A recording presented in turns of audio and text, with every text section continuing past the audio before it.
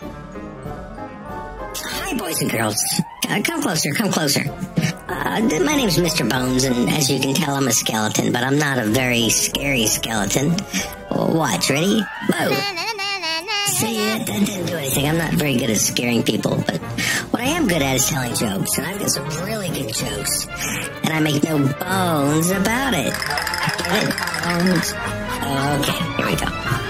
What's a skeleton's favorite food? Ribs. Why are skeletons so calm? Because nothing gets under their skin. Why don't skeletons like parties? Because they have no body to dance with. Who did Frankenstein take to the dance? His ghoul friend. How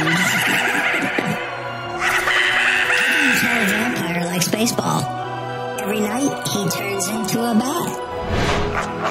How do you mend a jack-o'-lantern? With a pumpkin patch. What do you call a ghost with a broken leg? A hoblin goblin. well, that's all the jokes I've got. Happy Halloween.